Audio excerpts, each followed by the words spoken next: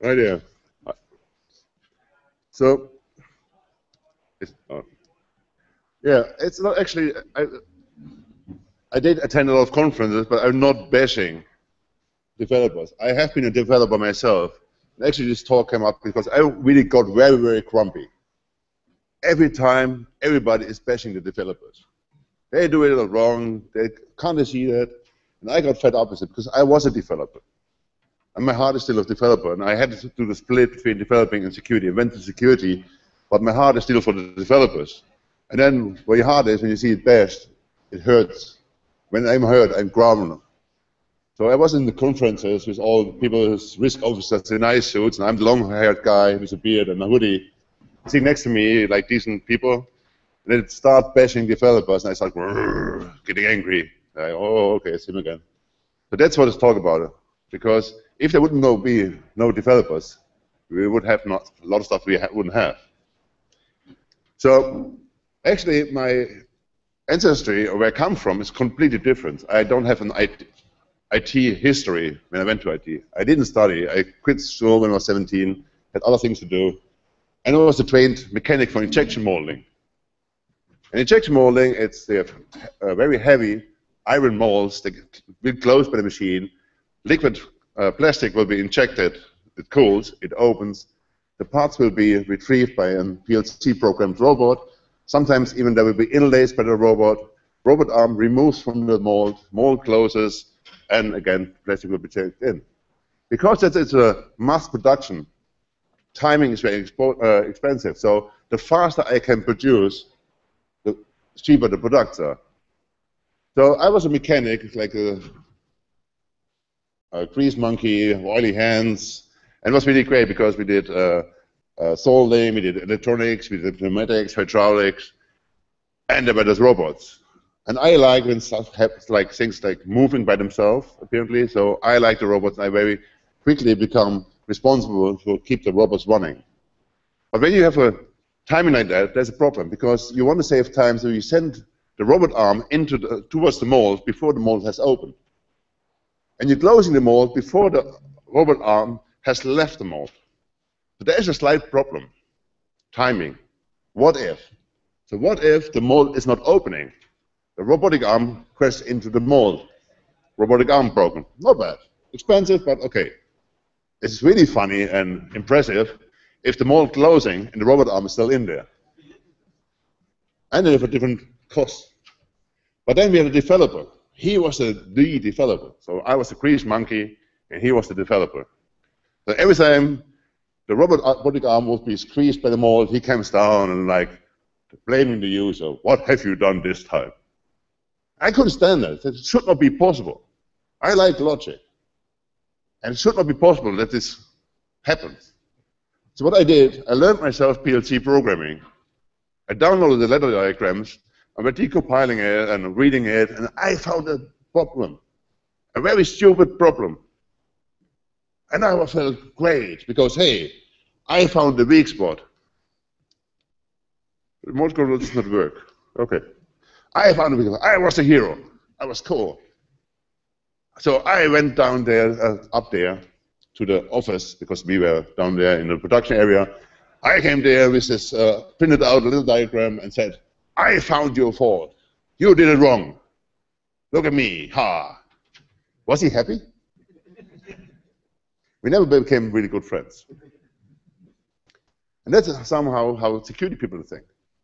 I found this weakness. I broke your stuff. I am so smart. I am cooler than you. I am smarter than you because I can break your stuff. But we forget about the complexity of systems. When you write complex systems, sometimes you forget about the obvious. And you think, like, how can they not see this? How can this happen? And it becomes complexity. It's very too complex to write a good code. If it's robotics, many parts moving at the same time. If it's an application. So when you do that much complexity, sometimes you forget to look at the detail, or just you don't find it until it appears. They're not trained. So bashing developers for, oh, I'm smart too because I can break stuff. Can you build it yourself? Many times I've been security conferences and there was another cool hacker and say, oh, I'm so cool, I break stuff. And here I wrote a nice Python script. You can download it. Don't look at the code because I can't code. I was like, oh no. So I can't do what you do, but I'm smarter because I didn't break it. That was the same thing I did. My first code review with PLC programming. I cannot program PLCs, but I could spot the error. So sometimes I see people like, oh, I miss you. How can they not do it? And the problem actually is education. That's why I love SKF project. They're not trained well. Nobody tells them until, hey, I broke it. I own you. You're pwn. But think about the mindset of people. Think how people's minds work. This photograph I took in Iceland, where there are much less bicycles than the Netherlands. And the only bicycle I spotted was at a place where it says, no bicycles here. It's not always obvious. Your mind works differently. It's like, don't think about a red elephant. Sometimes by not saying something, you just assume it. And to train the developers, that's the thing. Just come there and I broke it. Here, it's broken. And not be able to say how to fix it will not help them. So here they are, the really, really cool hackers. I really got disappointed by the cool hackers because they're like, oh, I am so cool. It should be animated, but it does not work. I'm sorry. So I am so cool. Look at all the weapons I have to my proposals, to my availability. I am really cool. I will like get a big guns and shoot at your application. So hey, I'm a hacker. I have Kali installed. I use Metasploit. Hey, Armitage. Everybody can hack now. Actually, I had one customer where a CISO of another company used Armitage against their server on Hail Mary without an assignment. How can you do that? It's really, really bad. So just having the tool set doesn't make you a real hacker. And I, even I was a project lead over CTF project. I see a lot of people like, oh, I'm a cool hacker. I do CTFs and I'm a three times prize winner still not, not a very good, by default, security professional. Because in a CTF challenge, hey, every challenge has a vulnerability, otherwise it would not be a challenge. And all you need to do is find the spot, get your token uploaded. You don't have to understand the vulnerability, you just have to exploit it. And mitigation? Well, don't think about it, mitigation. And most important, there's no write-up. So hey, I need the token, I got my points. So that's a lot of hackers I see. So you're the cool hacker. Like, oh, I'm cool. But is it like that? It's like yawn. Developers don't wait for you to have the cool story. They wait you, for you to help them. Breaking stuff only means you had the right tool. Maybe not for, and maybe I'm grumpy, I'm getting old, I don't know what it is. But I teach at the universities and there's still like the generation gap gets bigger and bigger. And it's very hard to find developers doing security. And people actually in the Netherlands, the pond is empty. There are no developers doing security stuff. I said, of course not. What do developers do? Developing. And I see that developers in the Netherlands had a big problem. Because you're a junior developer for half a year, then become medior developer for two years, and then you have to be senior developer, otherwise you are slow. And then you're senior developer. What is your uh, career path? Being more senior, uh, senior developer? No, then you have to be an architect or a, a manager because then you get more money. So we are killing so much knowledge because there's no career path to developers. You're a senior developer and then move on, otherwise that's your life. So appreciating developers, being good and doing that for years, something it misses. And for security tests, it's even worse because, hey, I'm the cool guy with all the nice tools and I hack stuff. But experience, they lack. What a lot of young people lack, and that's normal, it should be like that. It's understanding of communication. Like, we are in the IT world, we're not the best people to talk. Be honest. We are very confident in front of our computer, somewhere in the basement, no people around us, and me in the machine. But we have to learn to talk. That's one thing. But we have to learn to talk to other people with other mindsets, with other understanding. So they come with a checklist. This is all broken. Ha. So I'm as developer, what do I do with this? Yeah, good. It's broken. I get a report saying, oh, this is all bad. I miss in the reports what is good. What have you done? What didn't you do? I see many reports, and it's something in the Netherlands, functional testing is really on a high standard. We think, oh, functional testers, they're not technical. And definitely they don't do security. But they're really good at estimating how much they tested on an application. When I have a security test, there's always time box, because security is expensive. We do black box tests, one week. For one week black box test, how much testing do you get? Because there's project intake, half day gone. Reporting, one and a half days gone. So you have three days left. Ooh, what do we do in three days? Running tools, isn't it? And then what do you do? If you have time, ah, let's find the false positives and skip them, and then you get a report. So when I receive a report, I almost never get the whole intermediate files because I want to see what did you do, what you haven't done. So if a developer then thinks, hey, let's try it myself, I write, I get the same tool, the same version, I run the same test, and the uh, hacker only say, those are the uh, things you have to fix, and don't say, hey, these are the false positives, the irrelevant findings. I get a difference in findings. So what happens to those? Have you seen them? Have you evaluated them? So in the report also should say, those findings has been reported by that tool, but they were not uh, real issues. I missed that. And we get a top secret PDF report. Cool. What can I do with a report? I can file it in bin. Because, yes, I have a link with the payload. So I can log on my application because then the link does not work. So I have to click the link and hope the application is the same state so this payload works. Then I can see what is broken. And I get a general description what should be fixed. Does it help me as developer? Not really. I need a description. I need what has been done. Understand. A lot of the payloads don't work. Why? It's a dynamic application. So if the payload works, many times it's depending on the state of the dynamic application. So in the PDF, yeah, thanks. It's for management. Nice dashboard. So, duh. Help me. Enlighten me. Talk to me. Because when you get a report, I get in line. What are we paying our developers for? To develop. But they are bashed because developers have not much friends. Who of you is a developer? Be proud of it. I see somebody singing hand like this. Like, yes, I am a developer. Be proud to be developer because we make people proud of what they do. They do a better job. If it's a developer, if it's a project manager, it's a toilet lady. The moment I appreciate them, they will care about the work. That's what you need. People do care about what they do. And good developers care about the work. But they are bashed so many times. Why? Because all the different priorities. The users don't like developers. Like, oh, look at this. How could I have done this? For it has to be more intuitive. It has to be more shiny, flashy application. It has to be delivered yesterday. So they're never good. And they're too expensive. You will be outsourced to far away or nearshore. Nobody's happy with developers. But still, we rely on them. So that's great.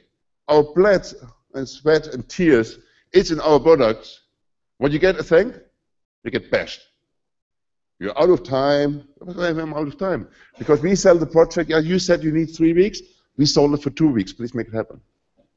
I had a, sales guy in my previous company when I was a software architect, I was a developer. They had an estimate from how many hours you think this application will take to complete. So I gave it back to them. So he comes back to me like, sorry, it has to be 250 hours less. I'm very easy. It's like, okay, uh, stripe something through, here you go. You save 250 hours. So he was happy and walks away, but then he realized he talks to me. What did he just do? See, you have no web interface.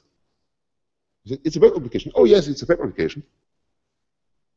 You cannot do that. So why? You got my judgment. That's what you asked to. Now you say to me, it's not good. Okay, I trusted it. And people are like, oh, I will talk to your manager. Okay, have fun. He knows me. Appreciate what they do, and accept their experience. So they have the continuous delivery. They work hard. We do DevOps. It's really good. So first we learn to talk to testers. Like developer and testers understood testers are people. We can talk to them. Now we have the operations even earlier. That was great because we were developing stuff being tested by testers, and then we throw it down the basement to operations. So now operations are integrated. So we have continuous delivery. I hear companies like 70 release a day. Then comes security. Stop. We first do a code review, then we do a dynamic test, then we do a hacker test, and then you get approval, and then you can release. It does not work. Early integration. And why does it not work? A, for it holds the whole chain, and B, you are a developer. You are in your code, in your head, in your code, the function that you develop now, and then something comes by. You know, three months ago, you developed this piece of code. It's not good. Hey, I lost my whole thread on things I was working now. I had to think three months ago. What did I do then? I have a very rare perceptive time. It has been, it is, and it will be. I have no idea where I've been three weeks ago. I know where I've been yesterday, I guess. But on when you're developing, to think all the uh, complexity of the code back for three weeks ago, and then you have to fix something. It not only takes the time to fix, it also takes you out of the current process and you have to get all the way back in the old process and think about how to fix it. So security should not be like the ministry of no. That's what I hear many times. I come to companies and help them about implementing security framework life cycles, early response. They're like, oh, you do security. Why? Because, yeah, you will say no. Say, no, I'm here for you. When I do code reviews, I always claim I have to be talking to the team. And head managers like, no, no, we just want a code review. You don't have to talk to the team. Say, okay, I don't do that. Why are you not doing that? I don't do a code review against the team. I do it together with the team. Who knows the code best? Who knows the code better than the developer? Mom, it's their code. It's their child. So we fail the way we approach them. Security fails the way how to deliver the reports to them. So let's think about how we can improve it. Talk to them. I know it's very scary to talk to other people. I was not a good talker before. But I got passionate about security, got passionate about development, and what a heart is full of, it comes out of the mouth, what they say in Netherlands. And I love developing, and I love security. I love both. So start to, to, start to talk to people. Understand each other. And don't talk always about security. Talk about things they are concerned. I did a lot of uh, reviews, intake, stuff like that. And when you're there, the first meeting's always with the manager. What do you hear when you talk to the professionals and the manager is there? Everything the manager wants them to say. It's not that what I want to hear. Actually, I think my previous company should have paid me for being a smoker. Because the moment you go outside and, light a cigarette, then you hear all the frustrations because they know you understand them. You know you have been in the same place. You have been a developer. I'm not a security guy. Come to school, have high, uh, cool uh, tools, and hack yourself. No, I have been a developer. I felt the pain. So you're equal. It's out there, no manager around, lighting a cigarette. You hear all the frustrations. When they understand you feel the pain, you can be actually their crowbar to get things changed, their code improved. They have no time internally because you're the external expert telling the management you have to fix this. So you're actually helping the development team to improve their code. They have brains. You just have to trigger them. To trigger them in the way they understand. They have to be triggered. And that's something I really, when I got involved in OWASP in 2006, it's that long ago, I'm getting old. I really was an OWASP because OWASP was there for developers. It was not a security conference or a hacking tool. No, it was a community of developers helping each other to write secure code. And our first mission statement was really black and white. It was the finding, fighting, and preventing of unsecure code. We learned, we understood that it's not possible to make 100% unsecure uh, secure code. So we changed the mission statement, I think, back in 2008, and saying from make the risk visible to the business so they can do the right decisions. But what I found in OWASP, I think a few years later, we had categorization of our project and guidelines. It was builder, break, and defender. I was a developer. I was not Bob the Builder. I'm a developer. So even OWASP, coming from the development environment, I think did not really understand what developers are. You developers, are you builders? I didn't feel myself a builder. I'm a developer. It's something different. For builder, I see somebody who put bricks on each other, not thinking. Actually, you do have to think. I'm creative. I work. So make them the heroes. And you have to help them the heroes. You always think the heroes they have all these capabilities, the knowledge, but every hero has been born blank and he needs to gain knowledge. Make the developers your security heroes. It's all a way how to present it. Hug them. Care for them, love them. Don't do it with me, I don't like hugging. Don't be the guy who kicks the child. Don't be the bully. I said, developers' blood, sweat, and tears, the passion, it's in the, if you appreciate them, it's in the code. It's their work. I was this idiot who spent eight hours, because I was allowed to work longer, at my office, coding, and there was stuff I didn't like. I had to fix. So I went home, I spent the whole night to improve my own code, because I want to be proud of my code. And I know, a year later, I look back at my code, and was like, oh no, what did I do a year ago? That's good. When you look back and you code like a year or half year ago, you think, oh my God, what did I do? It's good. It means you're improving. So be the child doctor. Look at that child and see what's good, where it needs help. Not taking it. Who has children? Who has the nicest children, the most beautiful children? I win. The coders, the application is their children. when you come there and kick their children, you don't have to wonder why they're upset. So we work together with them, evaluate their children, and tell them where your children needs more care, more attention, to be the best and perfect, most perfect children they can have. So understand them, talk to them, understand what is their business, what is their tool set. I come to companies and ask them, what do you do about security? And they still exist in saying, nothing. And uh, I can say, I don't believe you. What? No, we do have nothing with security.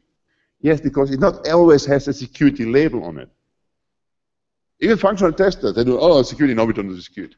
Because we as security guys, we did it created this world of mystics. Security is cryptography. It's complex. It's like, ooh, black magic. Because when you get a security test, there's a development team, and then external or even in a different department, there's a security team, all dressed in black. They're doing the black magic. And out comes this report. So what is the developer's toolset? What do they use? They care about quality. And actually, quality and security is not that different because it's about what the application should not be able to do. They have their own dashboards, their metrics. Like uh, Glenn always said, they have the code quality tools, they have the performance check tools, and that's all kind of security things. If they tweak them, they're even better. When you do Java, you have PMD, Checkstyle, find bugs. And, oh yeah, but it's not really a security tool. Yes, but it improves. It takes away the low-hanging fruit. And you integrate it in the development street. So the moment I check the code in for Glenn, it's five minutes later they get a feedback like, hey, well done. Do you get a well done feedback?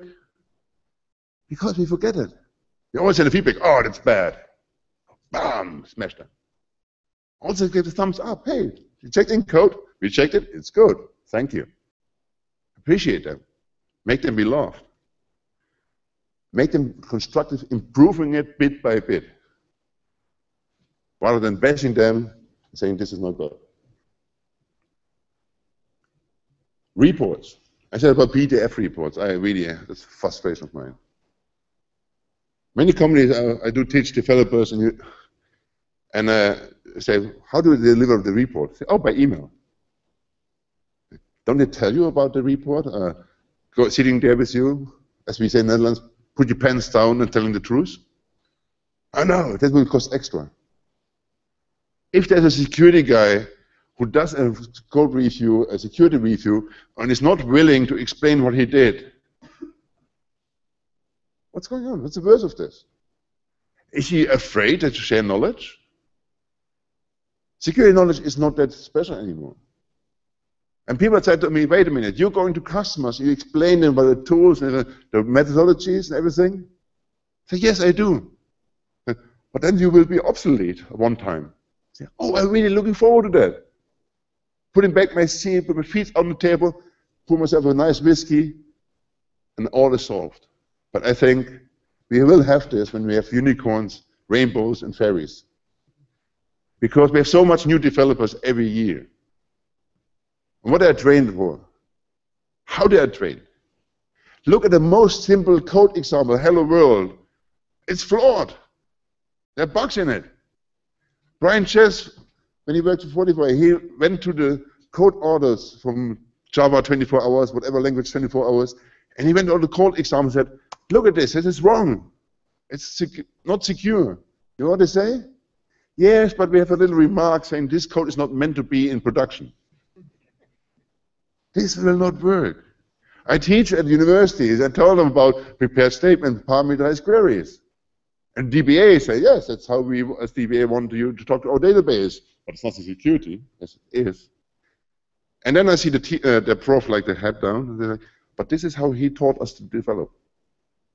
That comes because the teachers on universities, they have to cope up with the new technology. So they get a whatever language in 24 hours, they have to learn it, making from classes, and then teach people. They're not experienced developers. The developers should be trained by developers. New technologies, like app development, who knew? Who is developing apps? Anybody? The younger people. Oh, sorry. I know the teams, they're like 25, 26 year old, and I have a son at that age. That's like funny. Like, I could be your father. German accent always helps to get that uh, attention. But they're like, oh, one team, that uh, guy is 52, and they were like, oh, that's cool. We have a 52 year old guy in our team. He's doing cool stuff, app development. Okay? He's doing Java for 15 years. Yeah, but now he's doing mobile apps. Hey, come on, it's not all that new. It's flashy. And you need the new guys who pushing the boundaries, really going for it. But when everybody, the young guys, young girls, run down the cliff, you need the older guys say, maybe it's not a smart idea. So variation in age and gender, it's very, very important for a good team. For the security team and the development team. So to make a story, when I deliver a security report, there's a write-up in it. And I'm not a good book writer. I cannot write novels, otherwise I would have a different job, I guess. But tell them what is how I experience the application. In my write-up, I write this application. I just I shortly in short sentence I write down what I think. What did I experience? When I click this, it's slow hmm, there's an app starting up. Let's see the, the app code. Hey, there's an upload functionality.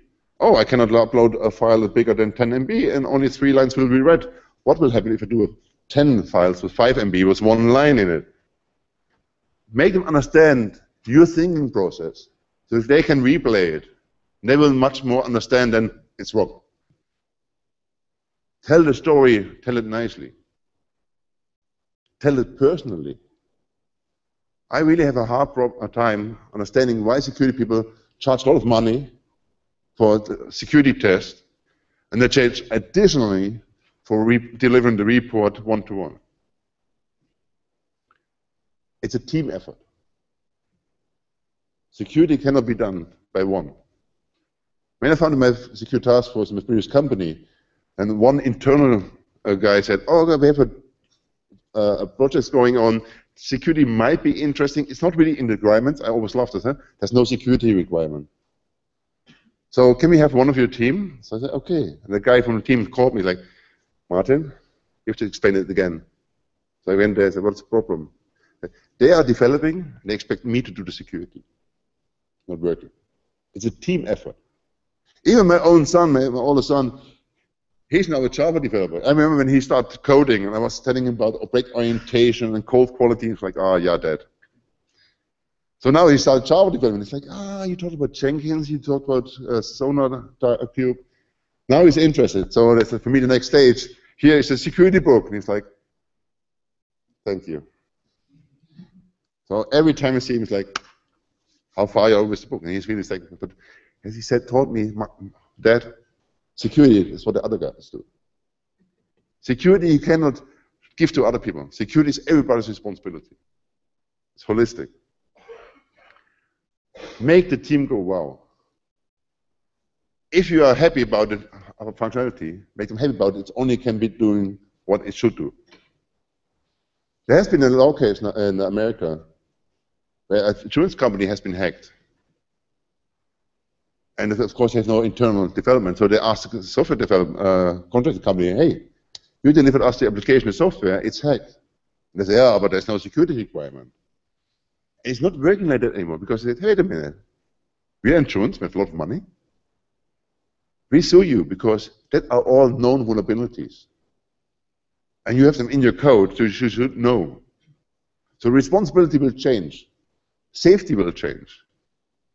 Understand your code, when you have a, func uh, a functionality described, by default it should do something else.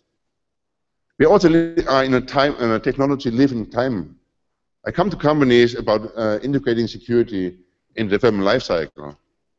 What everybody thinks about stars and SARS. Technology to solve our problems. I had a guy from the Netherlands Bank, it's a big organ about for banking in the Netherlands. So I explained about code review, static code anal analysis. He goes, oh, that's cool. So bad code in, good code comes out. nope. Okay, let's start again. To make them understand. A tool helps you, but a tool doesn't do anything by himself. The tool will help you, and that's what you need. Tools are easy access, easy report, understandable report, and early feedback. But the, all the tools out there, they only can find technical problems, bugs. What they can't do is flaws, functional problems. A question Gary McGraw uh, normally asks the audience. So a bug, it's a technical problem a flaw being a functional problem. What do you think what's more occurrent? Who thinks there are more bugs than flaws? Nobody? Who thinks there are more flaws than bugs? That's against tech people. Actually, it's 50-50. Half the vulnerabilities we could eliminate by differently looking at the functionality. To understand that, it's like the common sense. But though we are all focusing on the uh, bugs, all the technology is focusing on the bugs, security on the bugs, but the functionality you only can find by using your brain. But you can prevent it before writing a line of code by just looking at the functionality and think, would that be that smart?